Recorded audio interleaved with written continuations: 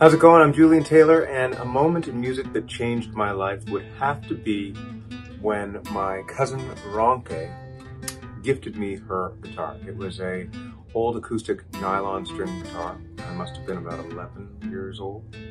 And uh, she could see that I was into it. She was learning how to play at the time. She was a bit older than I was. And um, first, she let me borrow it, and then she handed it off. So kudos, and thank you, Ronke.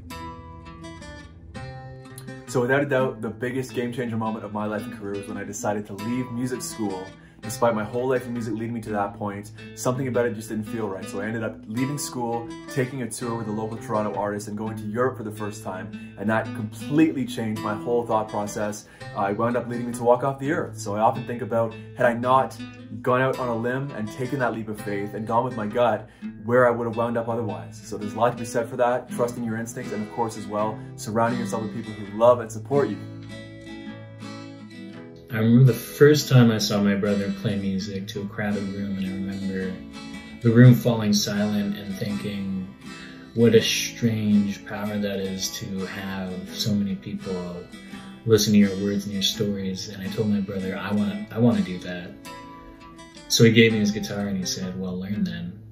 And I think that was a game changing moment for me.